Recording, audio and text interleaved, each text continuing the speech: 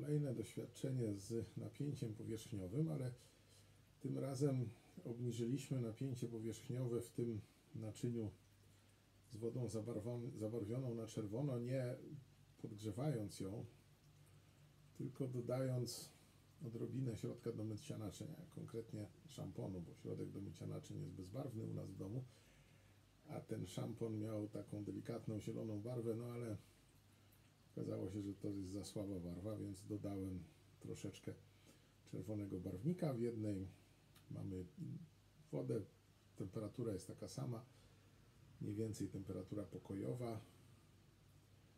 O.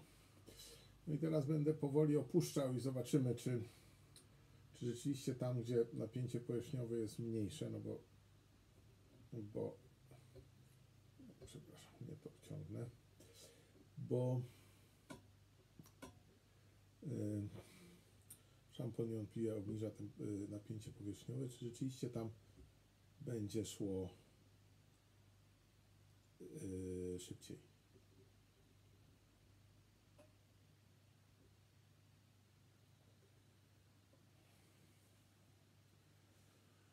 No i surprise, surprise.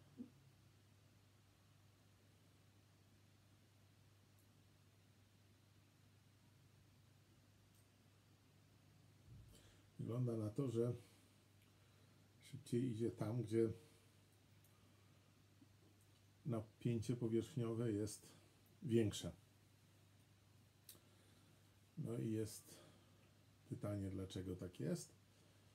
No i można się zastanowić przez chwilę i e,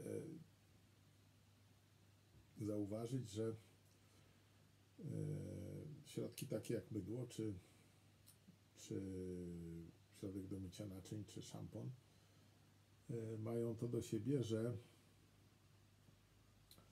mają to do siebie, że e, łączą się, ich cząsteczki łączą się z cząsteczkami H2O, no i osłabiają w związku z tym e, wiązania pomiędzy e, sąsiednimi cząsteczkami H2O, a przez to e, osłabiają napięcie powierzchniowe. No ale łącząc się z cząsteczkami H2O, e, nasycają te same wiązania, które e, potem okazują się niezbędne, żeby cząsteczki H2O łączyły się z odpowiednimi, e, odpowiednimi wiązaniami z cukrem, z glukozą, które, cząsteczkami glukozy, które są częścią tego polisacharydowego łańcucha celulozy.